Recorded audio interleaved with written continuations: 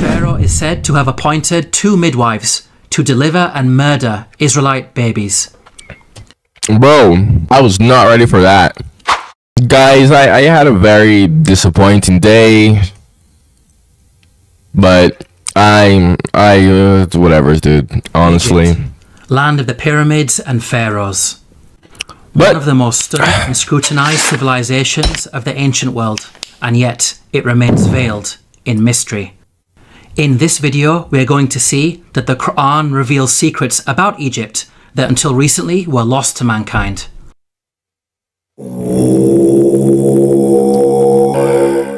Pharaoh was a tyrant in Egypt, enslaving and persecuting the children of Israel. The Quran states the following about the death of Pharaoh and his supporters. فما بكت عليهم السماء والأرض وما كانوا منظرين Note the words, Heaven and earth wept not for them.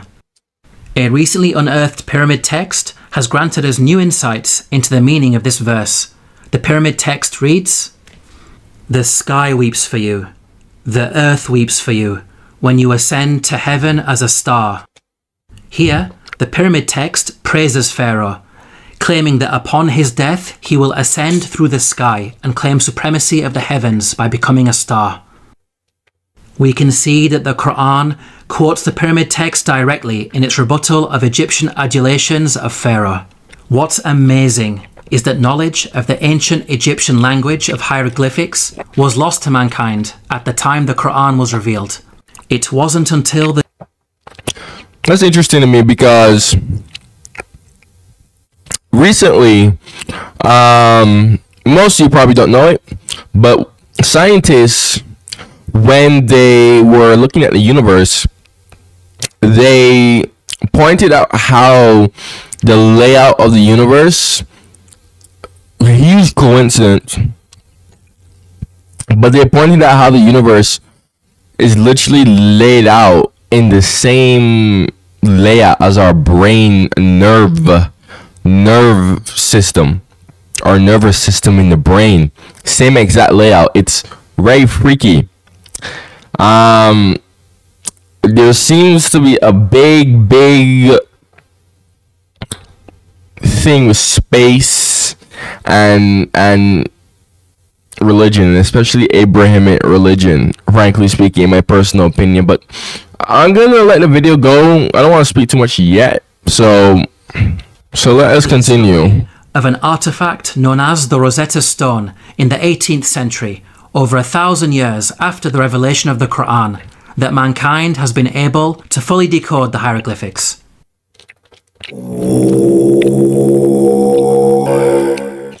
When you hear the word Pharaoh, what comes into your mind? Most people think of the supreme ruler of Egypt. This is correct, but the word did not always refer to the supreme ruler. Ancient Egyptian history is divided into different periods. The word Pharaoh, Egyptian Perah, had different meanings depending on the period of Egyptian history. Historically, the word Pharaoh only started being used as a title for the supreme ruler much later in Egyptian history, during the New Kingdom period. Before this, the word meant great house and was used to refer to the royal palace. The Encyclopedia Britannica states Pharaoh, originally the royal palace in ancient Egypt. The word came to be used for the Egyptian king under the New Kingdom. Let's now analyze the Quran's accounts about Egypt in light of these historical facts. Like the Bible, the Quran discusses the prophets Joseph and Moses, Very interesting. Didn't know the part that the Quran discusses um those two. Very very interesting. Look forward to seeing that. Also, it's extremely nice to see that this man is um uh, I'm pretty sure he's definitely Celtic. Um I think he's Scottish. I don't know. Their accents also working similar, I, but I would definitely go as far as he's definitely Celtic. Um, I, I definitely love that. So this makes this video a lot more um, enjoyable for me. Um, I already explained that a while ago. Um, my country's connection with Scottish and Celtic people. So who both spent time in Egypt. Joseph is dated by scholars to either the Middle Kingdom or Second Intermediate Period, well before Pharaoh meant ruler. In the story of Joseph, the Quran repeatedly uses the word king to refer to the ruler of Egypt. He is never once called Pharaoh. Interesting. Moses is dated by scholars to the New Kingdom period. In the story of Moses, the Quran repeatedly calls the ruler Pharaoh. He is never called king.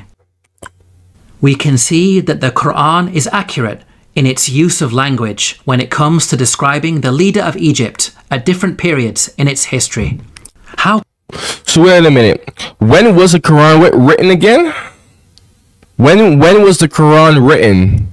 When was it written? Um, because Islam started like after Prophet Muhammad, and after Prophet Muhammad. Well, that's the funny thing about Islam. Technically, Islam doesn't have a start date. It's so weird. I I actually talked about that in my um Islamic um history reactions. Um, when was the Quran written? Technically, it would be written like after all these events happen, right?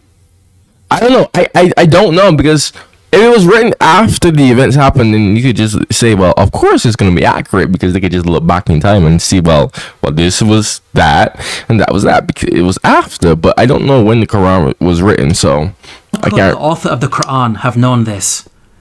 The only source of information about ancient Egypt that would have been readily available are the Bible based stories. To claim that the Quran copied from the Bible is problematic because the Bible uses the word Pharaoh to refer to the Egyptian ruler in the story of Joseph, which is historically inaccurate. The Quran cannot have copied from the Bible because the Quran corrects the Bible. I think, and this is the problem.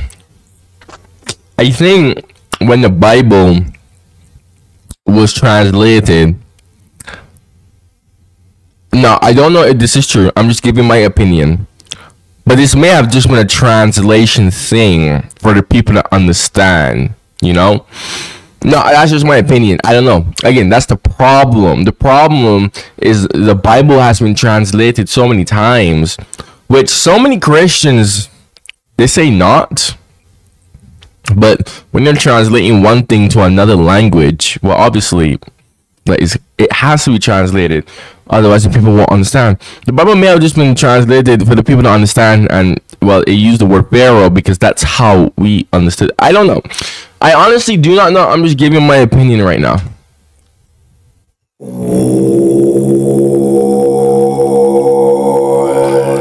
The Bible explicitly states that at the time of the Exodus, the Israelite men were vast in number.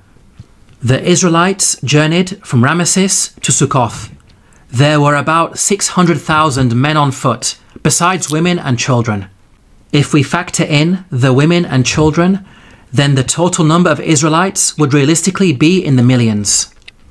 This claim of a vast nation is problematic in light of other information that the Bible provides.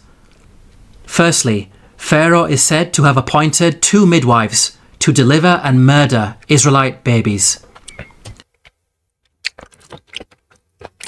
Bro, I was not ready for that. Holy, whoa. The king of Egypt said to the Hebrew midwives, whose names were Shiphrah and Puah, When you are helping the Hebrew women during childbirth on the delivery stool, if you see that the baby is a boy, kill him.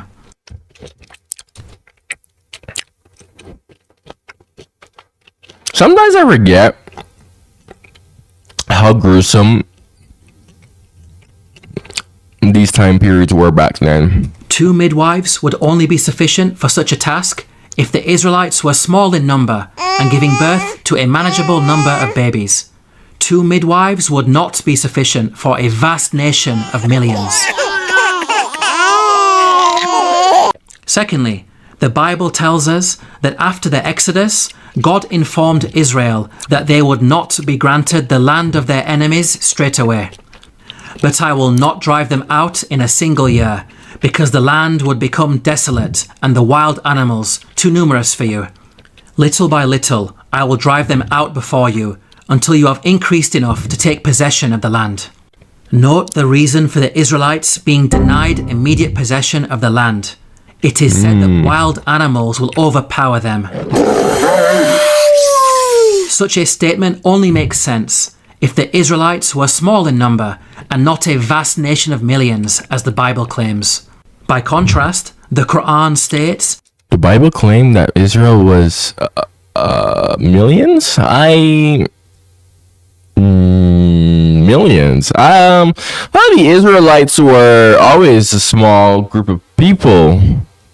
This is the first time I heard that the Israelites were millions. that the Israelites were only a small band at the time of Moses. فأرسل فرعون في المدائن حاشرين إن هؤلاء لشرذمة قليلون We can see that the Quran fixes the contradictions that are present in the biblical narrative.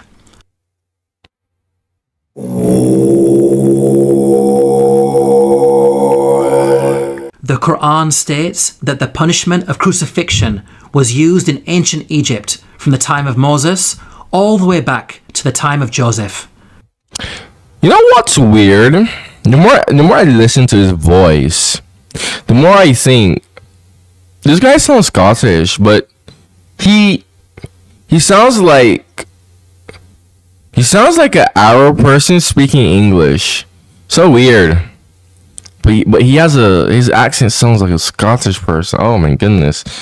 Who who is this guy? I'm I'm curious to know what this guy is. Now, the word crucifixion typically brings to mind the Roman cross. However, in antiquity, there were different forms of crucifixion. Uh, yeah, I knew that. David Chapman wrote In studying the ancient world, the scholar is wise not to differentiate too rigidly the categories of crucifixion, impalement, and suspension. Hence, any study of crucifixion conceptions in antiquity must grapple with the broader context of the wide variety of penal suspension of human beings. The Arabic words translated as crucified in the Quranic verses all contain the root word solaba. Arabic dictionaries state that this root carries a number of meanings, including to harden or stiffen and to extract oily matter from bones. This word does not only mean death by being hung on a Roman cross.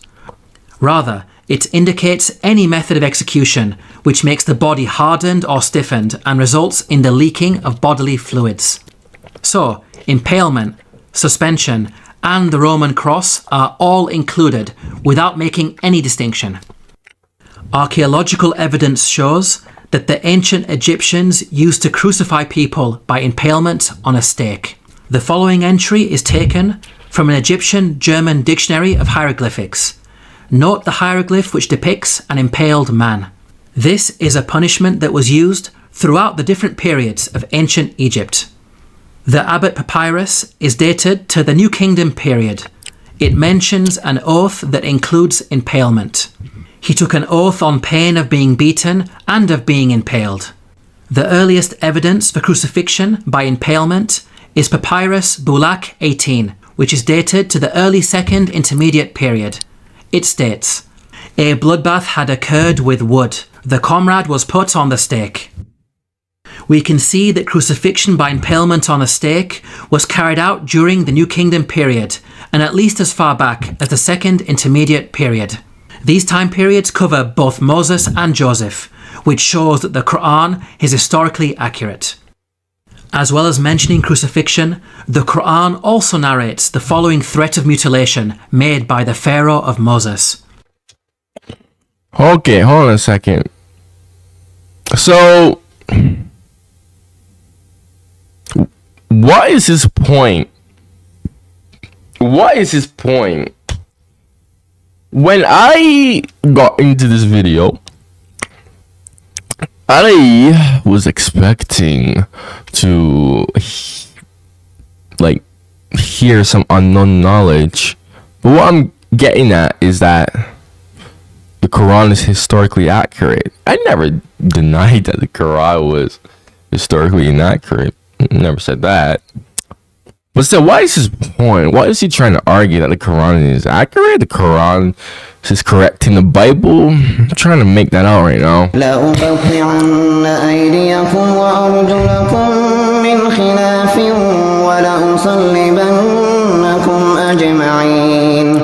Historically, we know that capital punishment in ancient Egypt became more severe with the advent of the New Kingdom period, which is the time of Moses.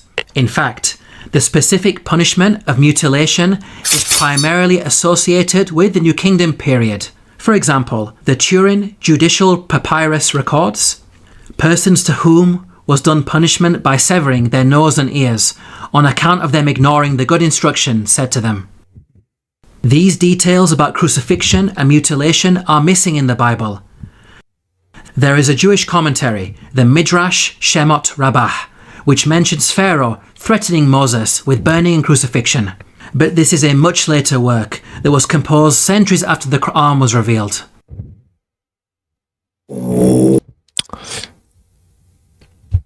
Now, it's missing in the Bible, but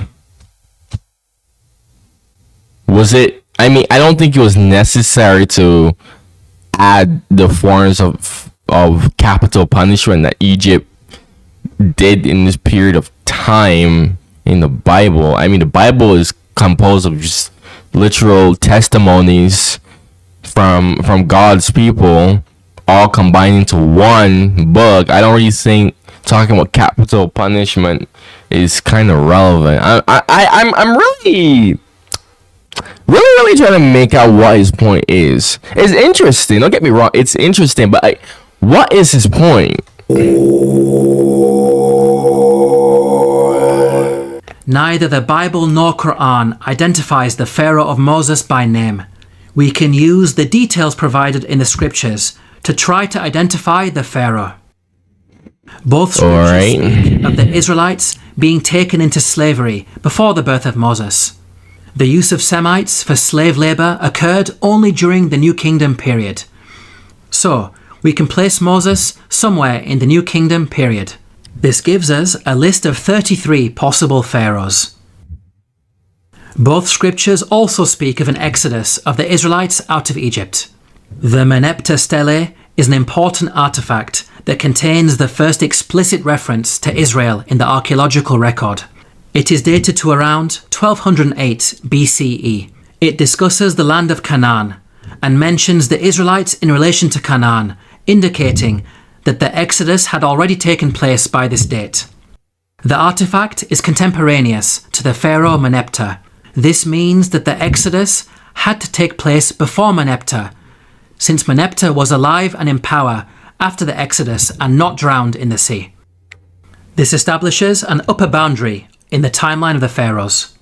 From the point of view of both the Bible and Quran, we are now left with 18 pharaohs as candidates who may have ruled during the time of Moses. Let's now delve deeper into the biblical narrative. The Bible claims that there were two different pharaohs who were in power. The first died while Moses was in hiding in Midian. When Pharaoh heard of this, he tried to kill Moses, but Moses fled from Pharaoh and went to live in Midian. During that long period, the king of Egypt died. The new Pharaoh continued his predecessor's persecution of the Israelites, and it was his second Pharaoh who was later. Hold on a second. Wait, wait, wait. The king of Egypt died.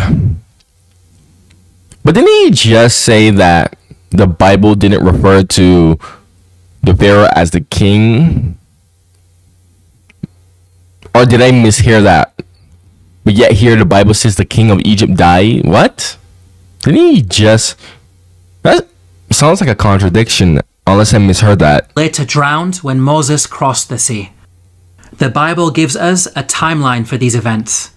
The burning bush encounter with God took place when Moses was 80 years old. So, from his birth to the Exodus, there was a span of at least 80 years, during which two pharaohs ruled Egypt. Now, there is a big problem if we compare this biblical narrative to the timeline of the pharaohs. We've seen that the Bible claims exactly two pharaohs ruled during the 80 year period from the birth of Moses to the Exodus. If we consider the number of years that each of the pharaohs ruled, we can see that there is no 80 year period during which only two pharaohs ruled. Any given 80 year period will give you at least three pharaohs in power. We can see that the biblical narrative contradicts the historical evidence. Let's now compare the Quranic narrative.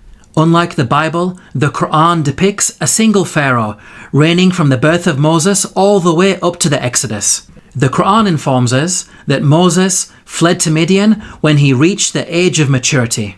The Quran defines the age of maturity as 40 years old. The Quran also informs us 40 years old is mad. That during his time in Midian, Moses spent 8 to 10 years in the service of his father in law before returning to Egypt to face Pharaoh. This means that Moses was at least 48 years of age Okay. when Exodus happened. The only Pharaoh during the New Kingdom period who had such a lengthy reign as an absolute ruler was Ramesses II, who ruled for 66 years. The Quranic account is perfectly in line with the historical evidence and fixes the chronological issues that are present in the biblical narrative.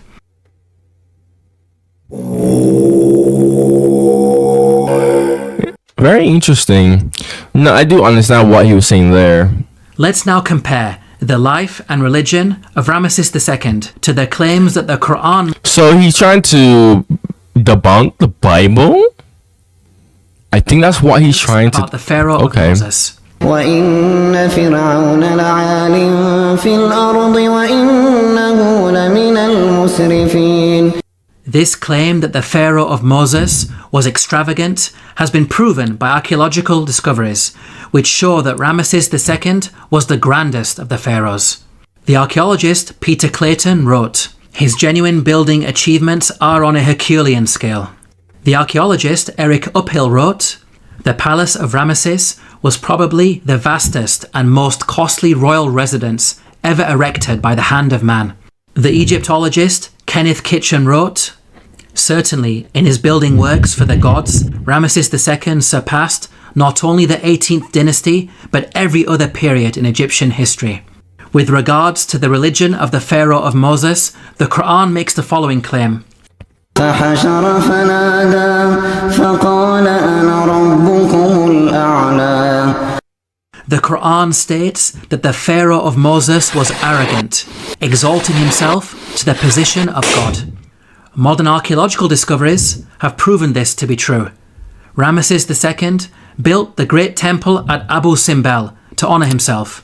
Its entrance is flanked by four colossal statues of Ramesses II, which dwarf the statue of Ra Horakhti, god of the horizon, located above it.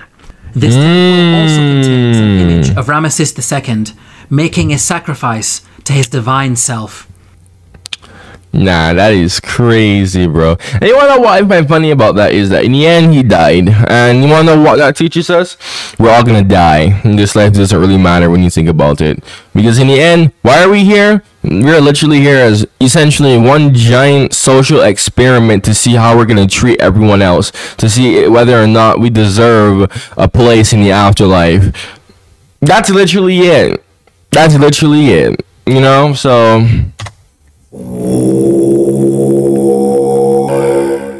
The Quran makes the following claim about the Pharaoh of Moses, who God drowned in the sea. فاليوم ننجيك ببدنك لتكون لمن خلفك آية we can see that the Quran explicitly states that the Pharaoh's body will be preserved as a sign for future generations. okay. Note that the Quran never makes such a statement about any of the other destroyed nations that it discusses, typically stating that their abandoned buildings and ruins have been made signs for later generations. This claim about a body being preserved is unique to the Pharaoh of Moses. The body of Ramesses II was discovered by archaeologists in the year 1881 CE. The hmm. mummy has been on display in the Cairo Museum, and over the last century, it has been seen by millions of tourists from all over the world. In the following documentary, Sir Tony Robinson states that Ramesses II is one of the few pharaohs whose body has survived largely intact. Mm. Just across the river from Luxor lies the famous Valley of the Kings, I hope this is not copyright. where Ramesses himself was buried. His mummy was discovered in 1881. One of the few pharaohs whose body has survived largely intact. Historically, priests had concealed his body in a secret location in the year 1000 BCE because of a problem with grave robbers. Nothing was known about his mummy in the intervening period of almost 3,000 years. At the time the Quran was revealed, the whereabouts and fate of Pharaoh's Ah! was So my question was answered. Quran was written. Okay. unknown. During the 3,000 year period in which the body was hidden, it could easily have been damaged or stolen. It may have even remained lost forever, locked away in its secret location, never to be rediscovered. If you think about it, these statements in the Quran are not only historically accurate, but also represent quite a bold prophecy. Very bold. I must admit. The plagues upon Egypt. The Bible informs us about a series of plagues that God brought upon Egypt. The book of Exodus informs us that the first six of these plagues are as follows. First, the Nile was turned into blood. Second, masses of frogs. Third, swarms of mosquitoes. Fourth, swarms of flies. Fifth, the death of livestock. Sixth, boils on people and animals. Now, at first glance, this series of plagues in the biblical narrative may seem random and unrelated. However, the Quran sheds light on these events. The Quran states the following about the divine punishments against Egypt. فأرسلنا عليهم الطوفان والجراد والقمل والضفادع والدم آيات مفصلات فاستكبروا Notice the first punishment mentioned by the Quran, a flood. This is an important detail that is not found in the Bible. This punishment of a flood actually explains the six seemingly random and unrelated plagues in the biblical narrative. A flood would result in high concentrations of red earth entering the Nile River and causing a blood like colour, killing fish and making the water undrinkable, as described in the biblical narrative. This phenomenon is attested to historically, as recorded by a Middle Kingdom Egyptian sage. See, the river is blood. One shrinks from other people and thirsts for water. The rest of the biblical plagues are also easily explained as a consequence of the flood. Well, yeah, that's that's uh that's that's what I I got out of it, obviously. But again, how was the Quran the Quran written? How is it written? I can't say anything because I don't know how the Quran was written. Was the Quran written and it was simply just revealed in 632? Or was it written like like how the Bible is. A Bible is basically just a collection of testimonies, literally, all packed into one book. Was it written like that, or was it written differently? Because if it wasn't written like how the Bible was written, where it's basically just a, a collection of of different testimonies from different time periods and all packed into one, I mean, you could easily just look at this and say, well, um, if the Quran was written afterward, you could easily just look back in time and, and just make adjustments to fit your narrative. But again, I don't know when the Quran was written. I just know when when it was revealed. He just said it when it, when it was revealed. So it's very hard for me to say anything. Mentioned in plague number two, Like, bro, I mean, if, if there's something that I'm missing, again, feel free to comment. known to fill the land after Nile floods. The death of the frogs recorded in the biblical narrative can be caused by contamination of anthrax that was carried over from the rotting fish. Mosquitoes, mentioned in plague number 3, proliferate after Nile floods, as the pools of water left over from the flooding would have allowed them to overbreed. Yep. Swarms of flies, mentioned in plague number 4, would be brought about by the massive death of frogs Yep. on the land. The death of pasturing livestock, mentioned in plague number 5, can be explained by anthrax, as brought on the land by the frogs.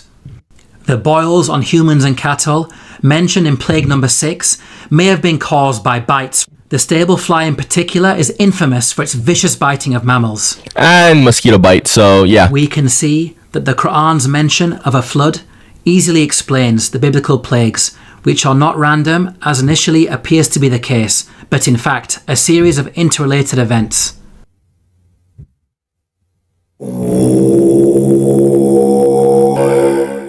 The Quran mentions the following incident about Joseph while he was in Egypt. وشروه بثمن بخس دراهم معدودة وكانوا فيه من الزاهدين Here the Quran states that Joseph was sold for a paltry price. The Arabic phrase used is darahima ma'dudatin, which contains the words dirham and ma'dud. Dirham means a unit of silver coinage or weight. Ma'dud means countable or limited in number. So the Quran is making the claim that Joseph was sold for a small amount of countable silver. There is plenty of historical evidence that standardized units of silver were used in transactions in ancient Egypt. Small pieces of silver, known as shati, were used in trade. The tomb of Niankhkhnum and Khnumhotep is dated to the Old Kingdom period. It contains a scene of a busy open air market with goods for sale. Cubits of cloth, for example, are said to be sold for six shati. The Rhind mathematical papyrus is dated to the Second Intermediate Period. It discusses the relative values of gold, silver, and lead in terms of shati. Small silver bars bearing the name of Pharaoh Tutankhamun have been dated to the New Kingdom period. They are inscribed with a hieroglyphic which states Tutankhamun, ruler of Heliopolis in Upper Egypt. Until recently, historians believed that the minting of precious metals was a later Greek invention. These recent Egyptian archaeological discoveries have forced historians to completely revise their understanding of coinage in the ancient world. How is it that's the thing about history. The thing about history is that there's so much that we don't know, and that we will probably never know. Like, and this is why I'm always open. This is why I always keep an open mind because, bro, there's just too much that we don't know. Like, things can always change. One thing can completely overwrite how we view something, man. And a lot of people don't seem to understand that. Is it possible that such knowledge was revealed in the Quran nearly one and a half thousand years ago? The Bible hmm. mentions that Joseph was sold for 20 of silver. However, this sale is said to have taken place with some Arabs outside Egypt. By contrast, the Quran states that the sale took place inside Egypt. So, the Bible could not have been used as a source by the Quran. It is in fact the Bible that contains historical errors when it comes to coinage. For example, the Bible makes the claim that a gold coin known as the Daric was used at the time of King David. They gave toward the work on the temple of God 5,000 talents and 10,000 darics of gold. As historians point out, the Daric is named after the Persian leader Darius the Great, Oh, wow. hundreds of years after King David. Oh, wow. Jewish Encyclopedia acknowledges this error. A notable instance of anachronism occurs in 1 Chronicles 29:7. Gold darics, coins which were not struck before the time of King Darius I, i.e., more than 400 years after David.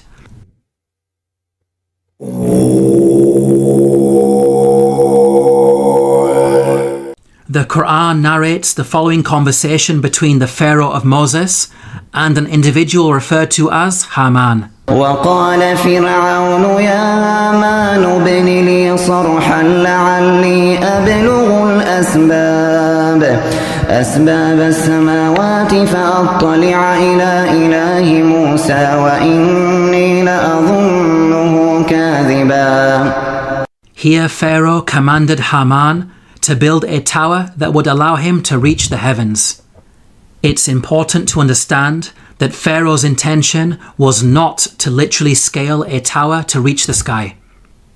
Rather, it's a reference to the Egyptian belief that after death, the Pharaoh would ascend from earth to heaven, taking his place among the gods. As we covered earlier, the author of the Quran That reminds me of Mormonism, low key. Mormonism is a branch of Christianity.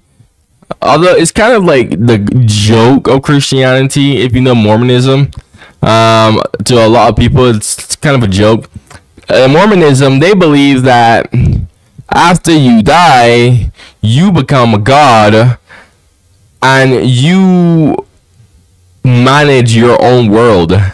like how there's Earth, like you die and you'll you'll be in charge of your own planet. You'll become essentially like a god of a planet. You know, like how God there's a god that manages Earth and whatnot. oh my bro. oh my goodness. But it reminds me of that, man. It really does. such beliefs. Egyptian monuments housed the bodies of dead pharaohs. These monuments acted as a bridge between this world and the next. They were filled with religious writings that served as instructions to help the dead pharaoh ascend to the heavens. Hence, the person in charge of constructing such a monument for pharaoh would not only need to be skilled in architecture, but also highly knowledgeable in religion, a builder priest of sorts. Let's now turn to history to see if we can identify an individual known as Haman, who was both a builder and a priest. Earlier, we concluded that Ramesses II was the pharaoh at the time of Moses, so we will focus on this time period. A block statue in the Egyptian Museum of Munich contains a biographical account of the life of a high priest named Baken Khonsu. In his own words, he states, I am one truly reliable, useful to his Lord, who performs beneficent deeds within his temple. Okay. I being principal chief of works in the estate of Amun. I erected obelisks of granite stone whose tops reach to the sky. Here, Baken Khonsu tells us that he served the pharaoh in two ways. First, by performing rituals in the temple, and second, as chief architect. In fact, Baken Khonsu was an architect extraordinaire, being one of the greatest in all of ancient Egypt. He is responsible for constructing the Temple of Amun at Karnak, a monument that remains one of the largest religious structures ever created by man. With regards to the priesthood, Baken Khonsu informs us that he had a very long and illustrious career. I was a third prophet of Amun for 15 years. I was a second prophet of Amun for 12 years. He appointed me high priest of Amun for 27 years. Here, Baken Khonsu is stating that he served the god Amun throughout his priestly career. Amun is the name of an Egyptian deity who rose to prominence during the New Kingdom period. By the time Baken Khonsu died, he had been a priest for many decades, having served Ramesses II as high priest throughout his reign. Both Ramesses II and Baken Khonsu were contemporaries who died around the same time. What about the Quran's mention of Haman? How does it relate to Baken Khonsu? Baken Khonsu referred to himself by the title High Priest of Amun. The actual phrase in the hieroglyphics is Ham Nata Tapi Amana. The word Ham literally means servant, and Amana is how you articulate the name of the god Amun in Egyptian. Baken Khonsu was Ham Amana, meaning servant of Amun. The Quran's mention of Haman may be simply an Arabized version of the Egyptian Hamamana. Mm. Let's now summarize the main points about Baken Khonsu. He was a senior ranking figure under Pharaoh Ramesses II, acting as both high priest and chief architect. He served in the temple of the god Amun and thus had the title Hamamana. It is clear that all of the historical evidence fits perfectly with the Quranic narrative. Now, it's important to point out that the Bible also mentions a Haman, but the resemblance is only in name. The biblical Haman served under a Persian king and bears no relation to the Quranic Haman of Egypt. Yet again, these are details that are completely missing in the biblical narrative. In this video, we have seen that the Quran has a remarkable insight into many facets of ancient Egypt, revealing long lost knowledge while also correcting the Bible. That is quite cool. I will say. Um. Um. Yeah, I actually do like the fact that the Quran actually that was quite insightful.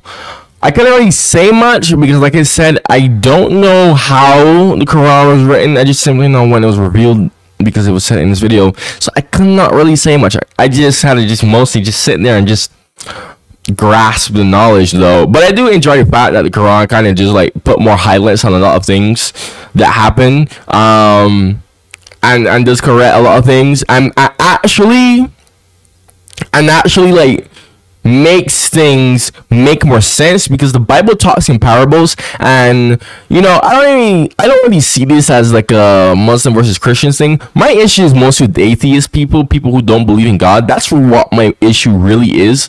And what a lot of atheists love to do is they like to cherry pick at the Bible and they always um like to say, "Oh, okay, well, how did this happen?" That doesn't make sense you know like there's no way this could just magically happen like that doesn't make any sense. Uh you know it's really nice like for like how the quran talks about when the um the plagues happen like how that logically happened right? The quran does add a bit does add logic to that which is excellent in my personal opinion because you know I, I, that that's like the main argument that I hear from atheists is that oh uh, the Bible isn't logical. Like a lot of the things that happen in the Bible, like it's just not logical for it to happen. So that is quite nice in, in my personal opinion. So uh, yeah, that's uh, quite excellent. Claims that the author of the Quran copied from the Bible are clearly rubbished in light of such facts. The Quran. Yeah, this guy's definitely English. He sounds like a um, uh, Arab that is assimilated into anglicized. Yeah, he sounds like an Arab that's anglicized. Boldly declares its origins. تنزيل الكتاب لا ريب فيه من رب العالمين To learn more about the miracles of the Quran, please download your free copy of the book. Wonderful video. Um I uh, wonder how my comments are gonna be on this video if I get any comments because Christians. I, I, want, I, want to see how Christians on, on my channel gonna gonna say to this. okay, look, man. If you got anything to say, man, go say it in the comments, man. I really do like to hear my other Christians who are subscribed to me their opinion on this. There's a lot of Christians on my channel that are a lot more educated than me on this matter. So, anyways, uh, if you made it this far into the video, man, make sure you subscribe. Go check out my other reactions, man. Um, go like the video. If you got any suggestions for me to watch, go comment down below, man. Yeah. Again, excellent video, man. The video was super late. I was doing something Unfortunately, it didn't turn out well for me. It is what it is. Uh, at least you get to see me not looking like I just woke up. So, thank you for watching, man, and goodbye.